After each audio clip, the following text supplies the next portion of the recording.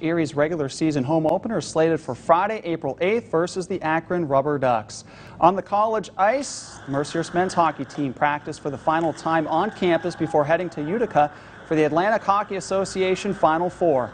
The number seven seeded Lakers swept back-to-back series versus Holy Cross and Canisius to reach the conference tournament semifinals.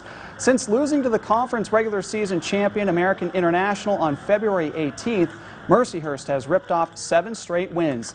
They'll look to keep that momentum going into their rematch with the Yellow Jackets on Friday afternoon.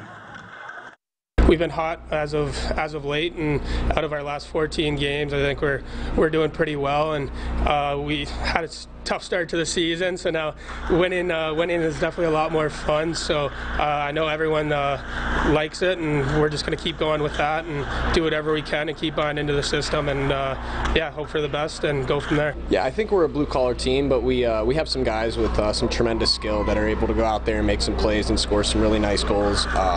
but you know our our identity is our, our forecheck and working hard and doing the right things, blocking shots, you know, and all those things add up to uh, winning games.